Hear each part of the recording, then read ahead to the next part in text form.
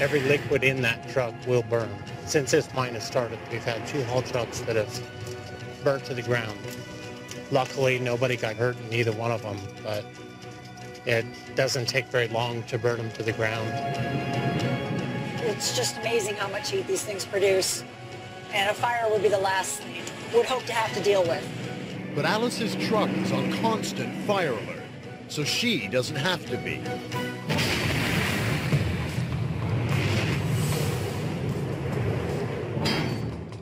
Under its skin, 330 feet of stainless steel pipes act as life-saving arteries. They connect to tanks of firefighting powder. High-pressure nitrogen canisters are poised to blast the powder to 36 high-precision nozzles sitting in every corner of the truck. It's a giant network of chemical sprinklers that evolved from the world's first automated firefighting system, invented in 1723. The Fire Annihilator. A capsule filled with gunpowder was suspended in a barrel of water and connected to heat-sensitive fuses. Any fire would light the fuses, which would ignite the gunpowder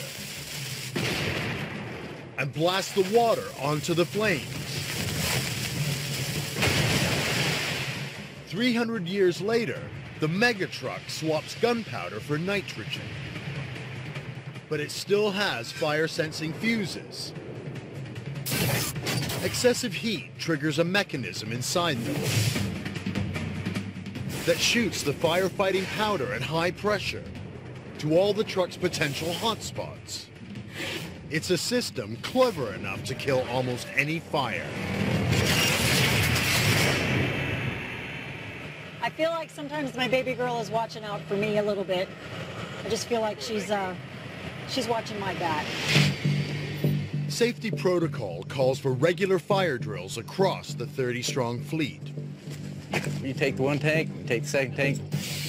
$16,000 worth of fire suppressant powder must be set to shoot in seconds.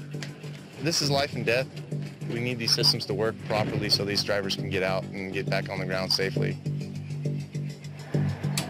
These trucks can burn very quickly. You have a lot of heat, a lot of possibility of things catching on fire in the engine compartment. Could be a firebomb on this thing. This is your main area that if there is going to be a fire, this is where it's going to be. To test this truck, You ready, Taylor?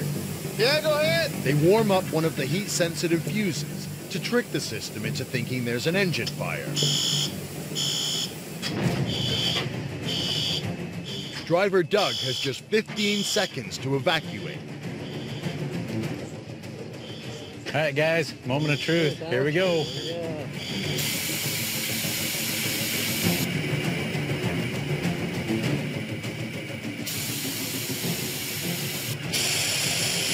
Dang, that's a lot of good one. That's definitely gonna knock fire down on that one. Yeah. No questions asked there. Get it right, man. Right there. Good job. Job, Taylor. Go. 240 pounds of chemical laying on the ground. Yep, There I don't it have is. to clean that up.